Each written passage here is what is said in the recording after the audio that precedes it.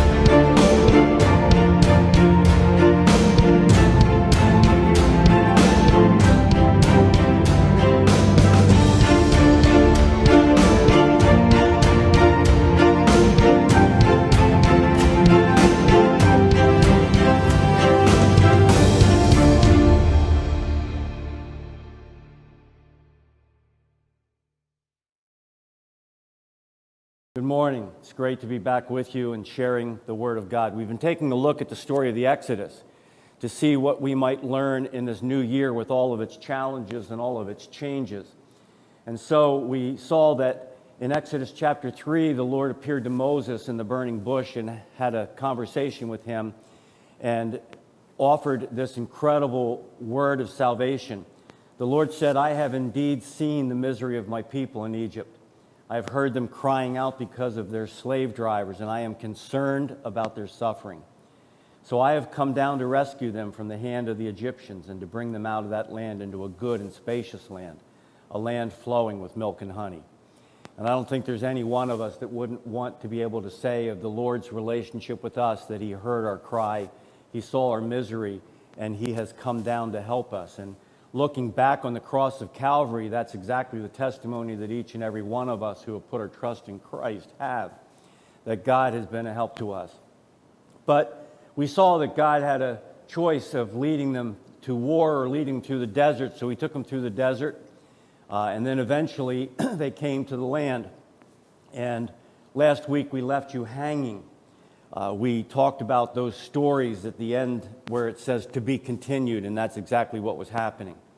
And the majority of the people at the end of the story last week did not want to do what God had revealed to them. Rumors and opinions were flying. Moses and Aaron were praying. Joshua was standing up and pleading his case against the people, asking them not to rebel. And the people wanted a new leader, and they were ready to kill those that were in opposition to them and had any other way but to return to Egypt and says that when the whole assembly talked about stoning them, and the glory of the Lord appeared at the tent of meeting to all the Israelites. And so we begin our story this morning by looking back just a little bit at the story. And so whenever we continue a story, we say previously at Gateway Church, speaking of the Exodus, we talked about embracing the journey. We spoke about that problem that people have when they look at a problem and says, looks good, but there are giants in the land. There are always giants in the land. And God has told us that through His Spirit and by His might, we can defeat any enemy of the Lord. We can defeat any enemy of the church. And so be careful when you say the plan looks good, but we need people of vision. And so it was that Joshua and Caleb were the men of vision that had come back and said, We can take this land, we can do it because God is with us. But there were the rumors of men circulating, and in this day and troubled time, we find the rumors of men flying all over the place. There was also the problem of thinking the grass was greener on the other side of the fence. They looked back at what they had in Egypt and said, that's even better than what's in front of us in having to fight the giants that are in that land.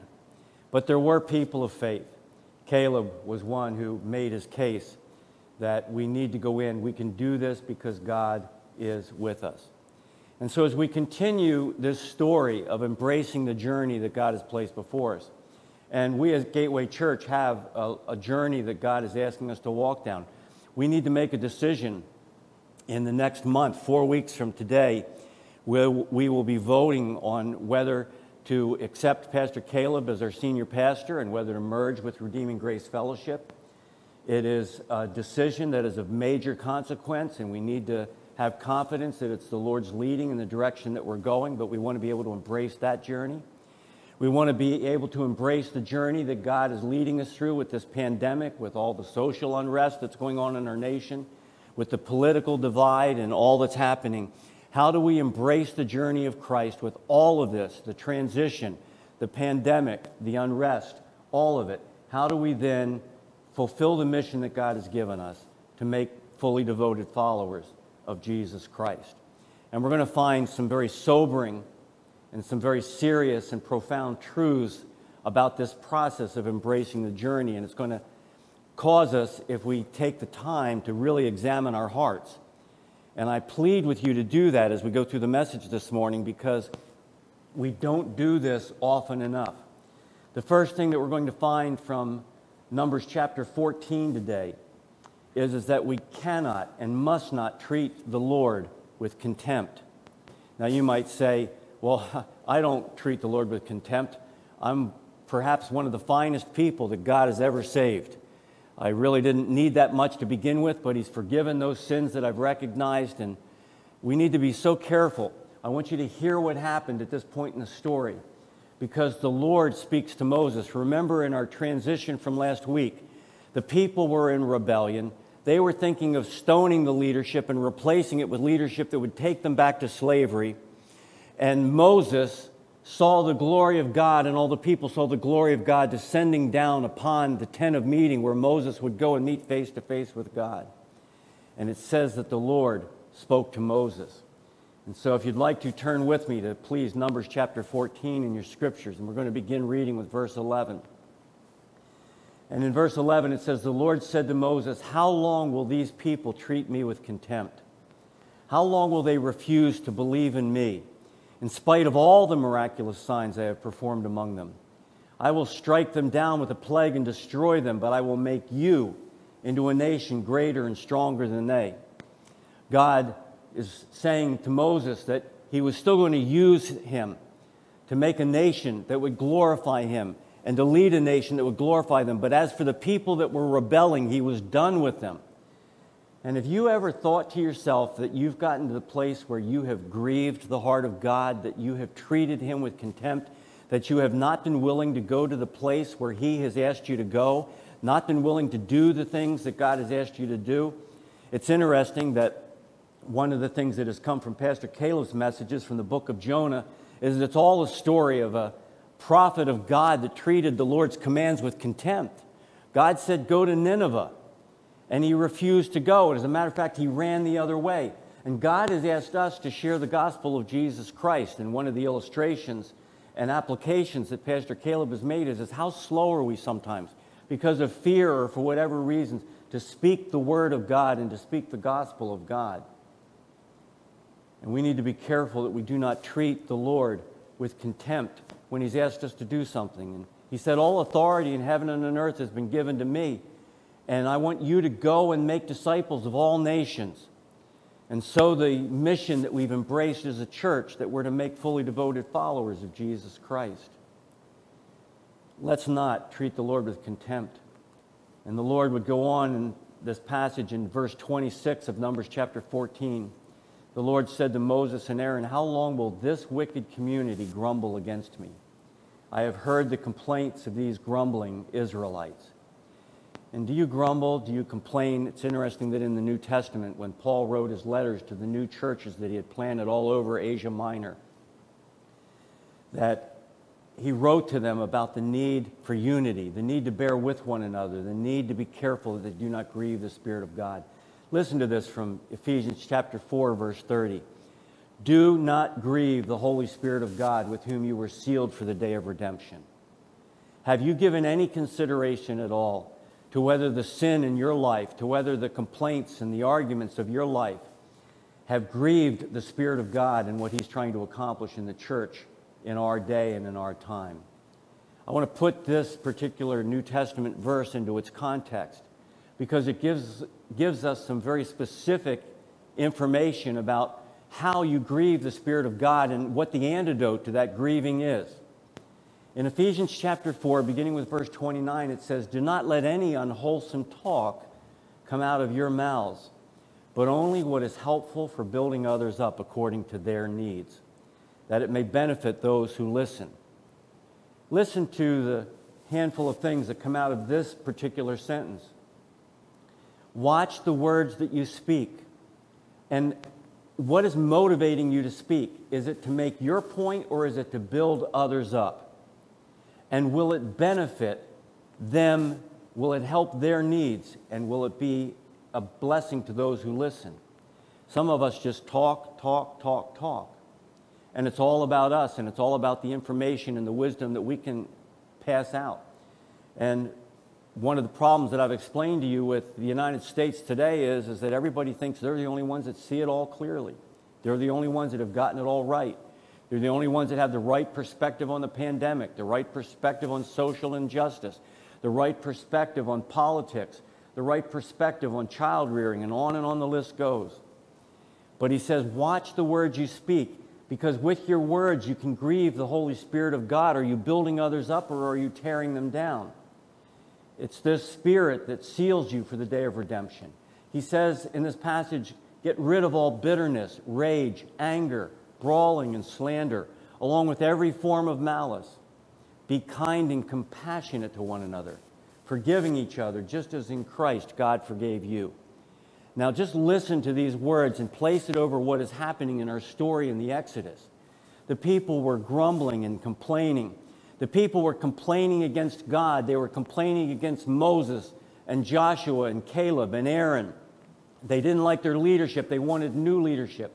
They were grumbling and they were complaining. Was there any kindness? Was there any compassion? Was there any forgiveness of others? Were they getting rid of bitterness and rage and anger and brawling and slander? I've been to some church meetings where I've seen anger rise up in people that are in the church. And it's not to have any place there because this kind of thing grieves the Spirit of God. And all that when people come through the doors, what they would see is kindness and compassion for one another. We need to be a people that are able to forgive one another because we will sin against one another. And God has asked us to have the same attitude towards others that He has toward us. That as He has forgiven us, we would forgive them. It's interesting, an article that I read just this week in World Magazine from World News Group. It was entitled 2020's Church Divide. And in this article, it talks about the effects that the pandemic has had on the church and politics and social unrest, but it, con- or it concentrates mostly on the pandemic. And it says this in the article that adding to the dynamic is the fact that usual modes of discipleship and fellowship, meeting in person, reading facial expressions and body language, touching each other, singing and laughing together, they're gone. No seminary courses prepare pastors for deciding whether to close their churches when to open, which ministry to cut, or how to care for the sick from six feet away, or I might add, from even farther away when you're not allowed to go into the hospital. Some churches have fired their pastors over their decisions on the pandemic, the article writes. Many pastors have lost church members, spent hours explaining their decisions to an offended party, or lost track of who's stopped engaging and who's fallen through the cracks. One couple in California doesn't think their church takes the coronavirus serious enough. One family in Texas left because they thought their church restricted too much. Many churches have families from both sides of the spectrum in their congregations, and pastors feel like they're twisted into pretzels trying to minister to both. It's like trying to nail jello to a tree, one pastor told me. No matter what they decide, somebody's mad. Pastors are wearing themselves out trying to manage other people's emotions. And so, whether it's the pandemic or whether it's social unrest or whether it's just the day to day functions of the church, are you treating the Lord and his mission with contempt? Or have you embraced the journey so that you're willing to say with others, I'm going to do whatever I have to do in order to accomplish the mission with the people that God has gathered around me? The second thing that we learn from this story is, is that we need to intercede for others one of the beautiful things is, is that what we find in this story is, is Moses and Aaron were on their face before the Lord. And when the glory of the Lord appeared to the tent of meeting, Moses went out as he regularly did, and he met with the Lord face to face. And so it is that Moses said to the Lord, If you do this, what you're saying, if you do not bring this people into the land and you bring a plague among us, then the Egyptians will hear about it. By your power, you brought these people up from them. In accordance with your great love, Moses says to God, Forgive the sin of these people, just as you have pardoned them from the time they left Egypt until now. Moses knew about the ongoing work of forgiveness in the lives of the nation of Israel. He knew about it in his own life, and the people of God need to be so confronted and so impressed with God's forgiveness of them that it's their desire for everyone else to be a forgiven people. And so when there's conflict among you, whether it be in your family, whether it be on the job, whether it be in the church of Jesus Christ, if sin has entered into the picture and there's people that have sinned against you, is it your desire that God would forgive them and you would forgive them and then we're going to move on from here? And so it is that Moses used his place as a leader when he could have gone to God and gotten on his knees and said, God, what kind of people did you give me to lead out of Egypt and into this promised land? They do nothing but grumble and complain. They do nothing but cause strife among them, and now they want to go back, and they don't want to go where you want them to go. But Moses is on his knees, face to face with God, saying, In accordance with your great love, forgive the sin of these people. We need a church of intercessors. We need a church that's willing to pray for our nation and intercede for our nation. We need a church of people that's willing to pray for the church of Jesus Christ. We need a, a gathering of people that are willing to pray for Gateway Church, willing to pray for Redeeming Grace Church, pray for the merger, pray for all that's going on. In accordance with your great love, O oh God, would you forgive us this day? Our nation needs your forgiveness desperately. Intercede for others. And when it comes to your words before God and when it comes to your actions, you need to be filled with the grace of God. And God's grace needs to cover everything that you do. And so, in the middle of Moses' prayer in Numbers chapter 14 and his discussion with God, he says in verse 17, Now may the Lord's strength be displayed, just as you have declared. And you might say, Well, now, what is the Lord's strength? We ask God to do all kinds of things, and in the name of Jesus, we want his power to be displayed. But do you not realize that in the name of Jesus, his power was displayed on the cross? And what was that message? That message was one of grace, and that message was one of love. And so he says to the Lord in his discussion with him, Now may the Lord's strength be displayed. The Lord is slow to anger, abounding in love, and forgiving sin and rebellion. Yet he does not leave the guilty unpunished. He punishes the children for the sin of the fathers to the third and fourth generation. In accordance with your great love, forgive the sin of these people just as you have pardoned them from the time they left Egypt until now. Are you willing to let this message of grace surround all that you do? Are you willing to let the grace of God and what He's done in Jesus Christ affect the way that you look at other people and the goals and the motivations that you have for everything that you do, everything that you say to them, everything that you speak? When you walk into church on Sunday morning, do you have stories that you want to tell because they look, make you look good? Or have you ever come through the doors of the church and said, My goal this morning is that I might allow others to be built up in Jesus Christ? My goal when I pray is that others would be built up in Jesus Christ. My goal in the church of Jesus Christ is that others might know this story of redemption, that they might own it and they might join us on the journey. We need to let God's grace fill us and we need to let it affect everything that we do. I love the second verse of that song that we sing, Take Us to the River. It says, Take us to the mountain, referring to that image in the Old Testament that when God went and met with the Lord face to face. Because that mountain is symbolic of the mercy of God reaching out to mankind.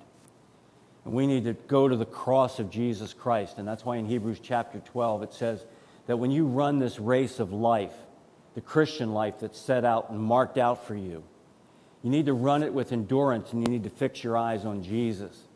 He's the one that went before us. And that race led him to the cross. And no matter where the um, journey of God takes us, whether it be on a smooth and straight road or whether it's through the most difficult road that we've ever walked and ever traveled, may the Lord's strength be displayed in us, the forgiveness that is ours in Jesus Christ.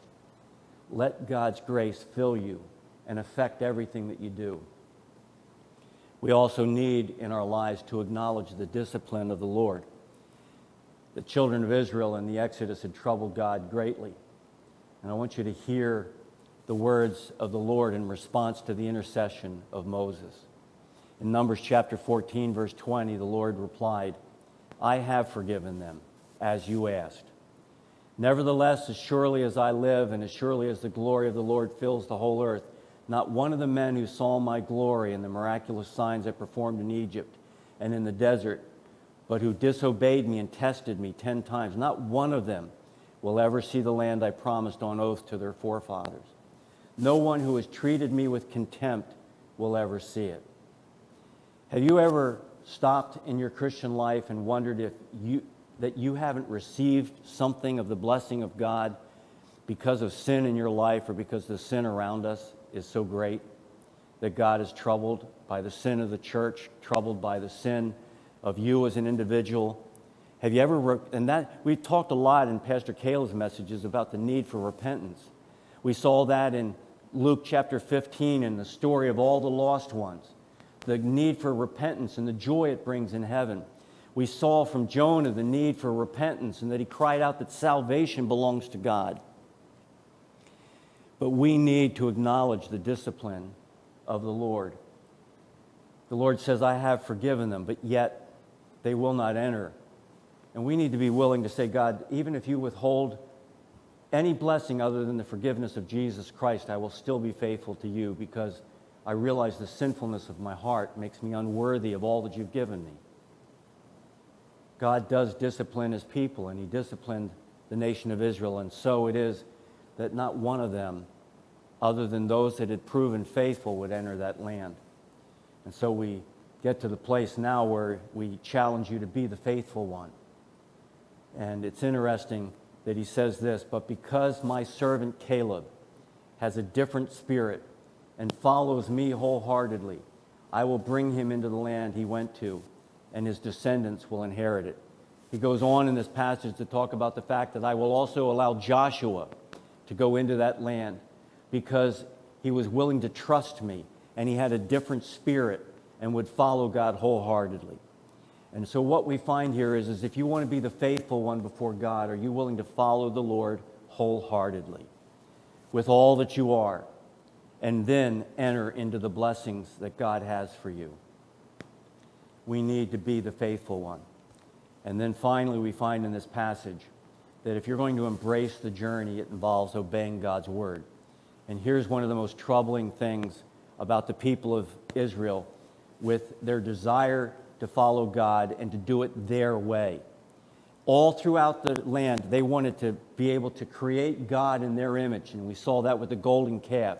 They wanted God to lead them in their way, and so they wanted to be directed in any way, and they didn't want to fight the giants in the land, so they turned back. And we have a problem where in America we're doing the same things. We believe that we're so independent, we believe that we're so smart and intelligent that we can create a God in our own image that's better than any God that has revealed himself in the scripture. And that's one of the most dangerous things that you could ever possibly do. And so God pronounced this judgment on him, and the people still were not willing to obey him. God said, Since the Amalekites and Canaanites are living in the valleys, turn back tomorrow and set out toward the desert along the route to the Red Sea. God said, I have forgiven them, and I will not send them into the promised land, but I will still protect them. But I want you to go back to the desert for a season. I want you to go back to the desert for a generation. I want you to go back toward the nation of Israel. But the people that had been groaning, and the people that had been complaining, and the people that wanted to replace their leadership, and the people that shook their face, their fists in the face of God, and said, We don't want to go the direction that you want us to go, now all of a sudden said, No, Lord, we're going to go into the land. And in rebellion against this prophetic word from God, they went up and marched against the armies of the Amalekites and the Canaanites, and they were bitterly and miserably defeated. We need to be those that obey God's word.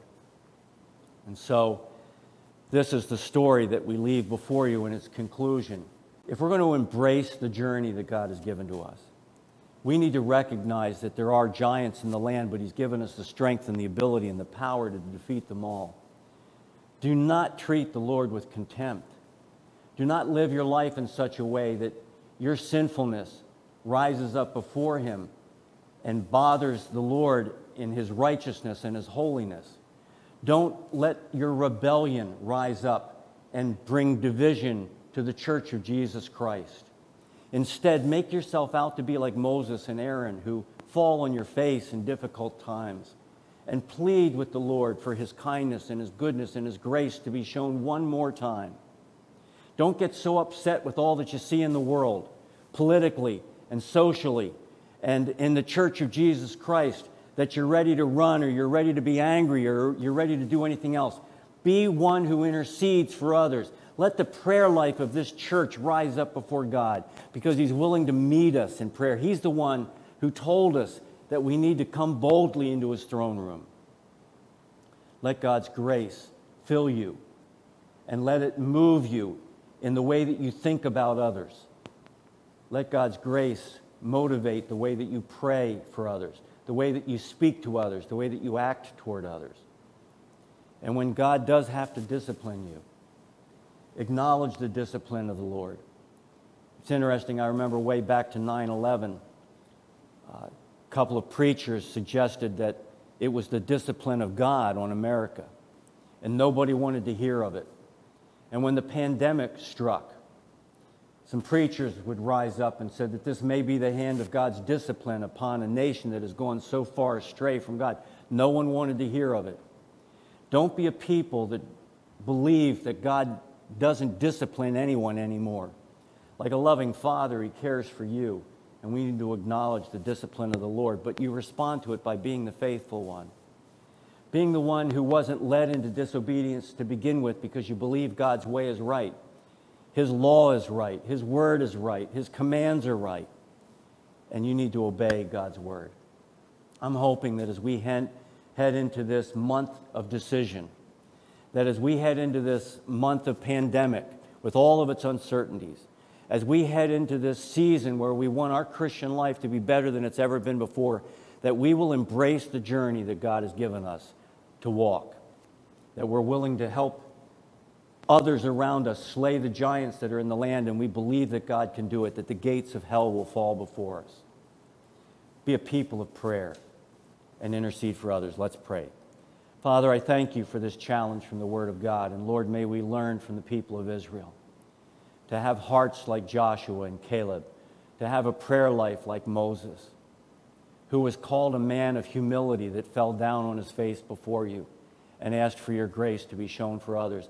I pray, Father, that you would show your grace to a new generation. I pray that we would be not so bothered by all the sin around us that we forget that it was your forgiveness that made us approved in your sight and your forgiveness alone. May the shed blood of Jesus Christ wash another generation clean. May we be yielded to you today. And Father, when your discipline comes, may we receive it but Father, I pray that we would be the righteous ones that would stand up and call for obedience to your word.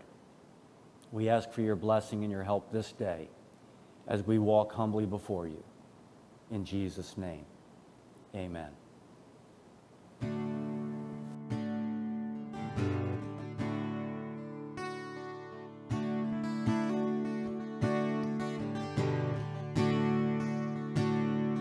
Lord, I come I confess, bowing here, I find my rest. And without you, I fall apart. You're the one that guides my heart. Lord, I need you. Oh,